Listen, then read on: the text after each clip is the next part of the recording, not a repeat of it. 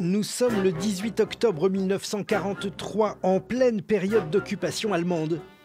À la poudrerie nationale du Ripaud, actuel siège du CEA à Mont, va se jouer l'une des plus effroyables catastrophes de la région.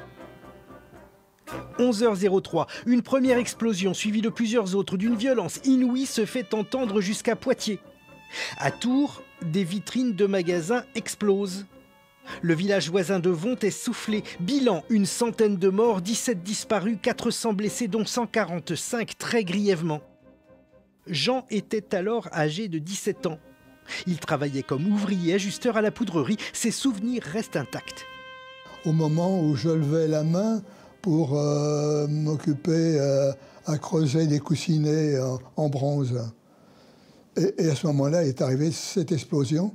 On se demandait ce que c'était le sol tremblait sous le, mais tremblait à, monter et descendre. La verrière m'est tombée dessus, une verrière en, petits morceaux. Ma tête était pleine de petits morceaux de verre.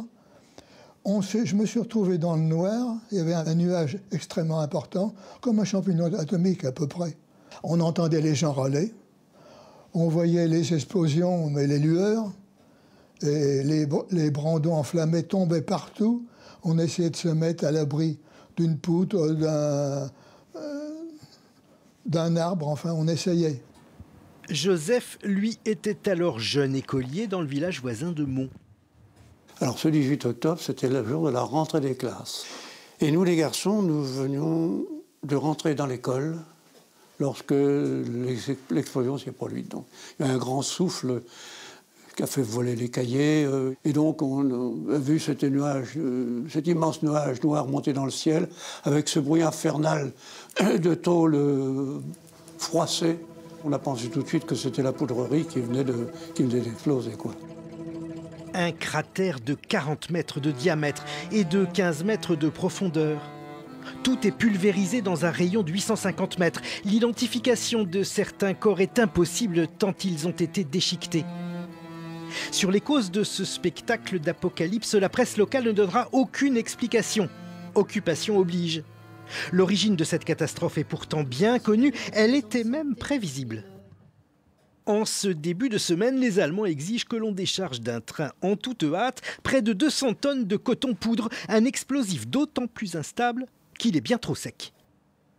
Lorsque les premiers wagons arrivent, la première chose à faire, c'est de faire des prélèvements pour vérifier l'humidité du coton poudre. Et alors là, c'est la catastrophe. 25% des échantillons prélevés avaient un taux d'humidité de 5 à 12%, alors que la sécurité exige une humidité de 25% minimum. À ce degré de cécité, le frottement du coton sur le sol, il crépitait. Le vendredi, les poudriers d'expérience refusent de poursuivre le déchargement. Mais le lundi, on remet une nouvelle équipe en place et le, déchargement euh, recommence. À 11h et 3 minutes, c'est l'explosion gigantesque donc. Les conséquences pour la population seront terribles et les survivants resteront marqués à vie. J'ai vu euh, les gens euh, courir, brûler, éventrer, un spectacle que je ne décrirai pas. Mais ça marque. Hein. C'était tellement le choc. On avait perdu beaucoup de gens. Et puis, euh, c'est vraiment un choc qu'on avait. Une stèle a été érigée au centre du cimetière de Mont. Comme chaque année depuis 75 ans, les anciens viendront à nouveau se recueillir ce 18 octobre. Pour qu'on n'oublie jamais ce qui constitue l'une des plus importantes catastrophes qu'ait connue la région.